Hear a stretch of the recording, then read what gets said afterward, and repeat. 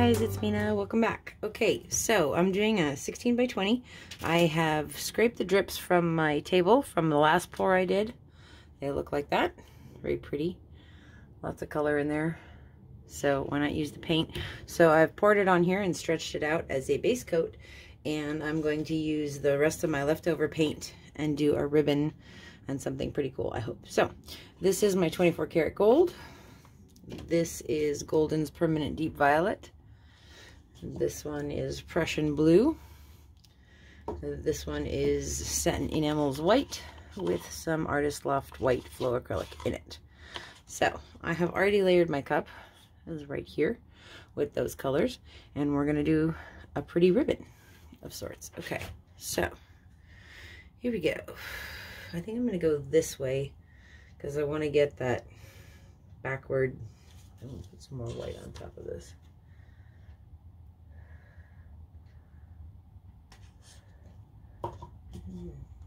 Violet, yeah. Okay. Alright, let's do this. So we're gonna go, can you see? Yeah. We're gonna go this way.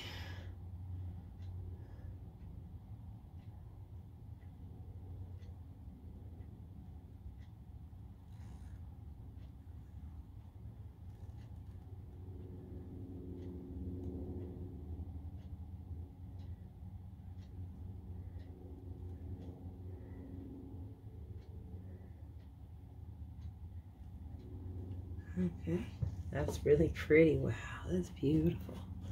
Let me turn this off. There we go. Can you see that? Yeah. Let me see if I can zoom in on that.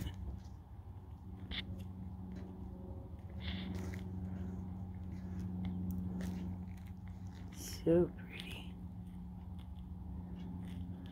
Okay. Get back to the pour you can see. Okay, so we're going to tilt this this way, obviously. But this is really cool.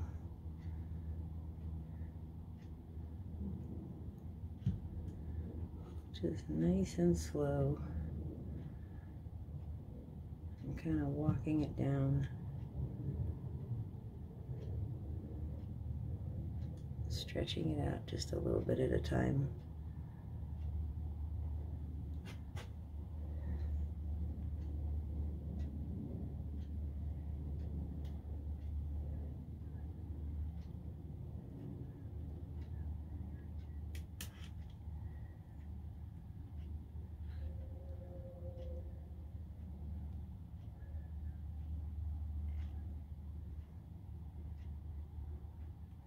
Until we get to that corner and we're going to hook it over the corner.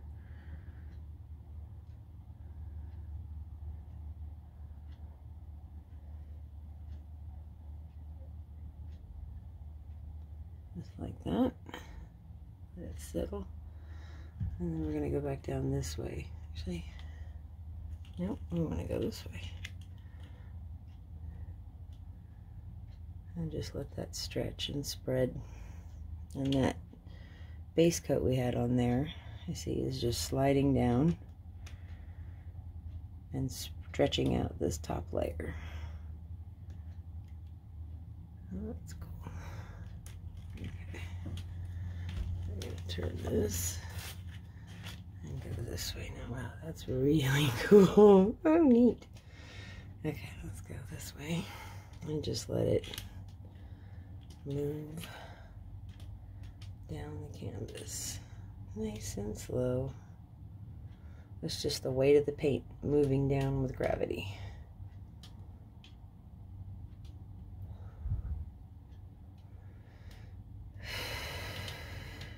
I'm not in a hurry. Don't rush this part. Let it take its time.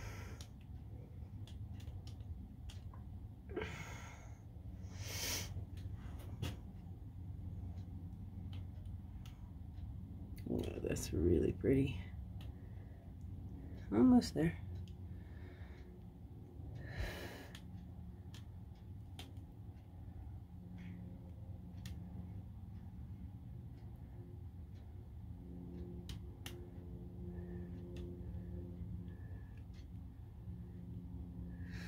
I just want to grab that edge of the burgundy right there.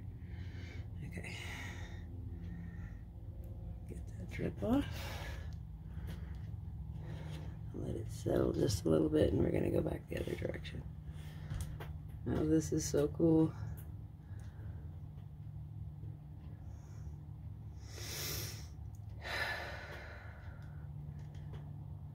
Let's see. Let's turn it this way. No, that's really neat. But yeah, we need to come down now.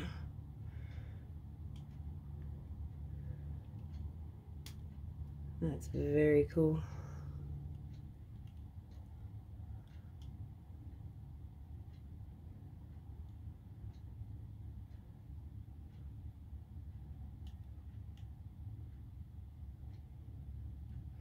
It's moving slow because it's pulling what's up there down and stretching that out.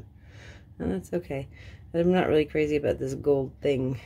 So that's mostly what I want to get off.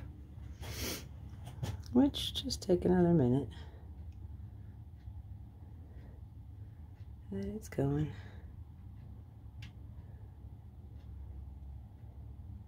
But this is so pretty. I love stretching it all out like this.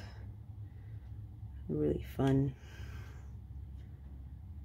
How far can it go?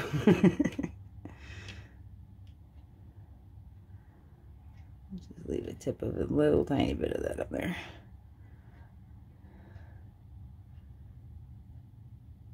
Okay. That's good.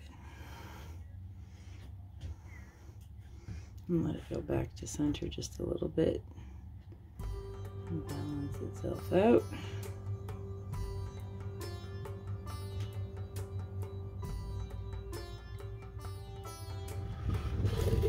And that's that. That's pretty cool.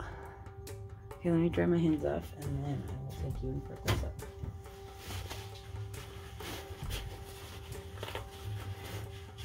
I love them.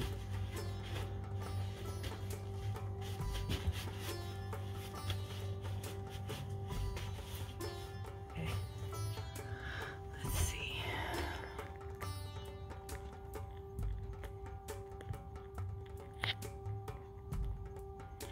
All right. So let's start up here. That's so pretty. Corner. With all that Prussian blue and the deep violet and the white and the gold. And there's that little gold bit we were getting off. Look how deep that blue is. So pretty. And in here where they sort of blended a little bit and there's a little bit of gold in between them. Very cool.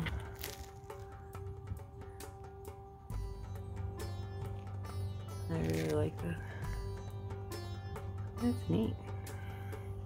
So, um, I'm not gonna, I'm gonna just end this video here and then I will show you when it's dry another time because I want to do a series of kind of faster ones so I can give you guys more videos. but I will show you when it's dry, I promise. But it's not going to change. They stay like this unless maybe a bug lands in it or whatever. Anyways, thanks for hanging out with me and going rogue. Um, HOA has taken our darling daughters to play Dungeons and Dragons. so I got to paint, which is pretty cool. Anyways, thank you guys for hanging out with me and I will see you for the next one. And I will show you this one dry in the next one. See you soon. Bye.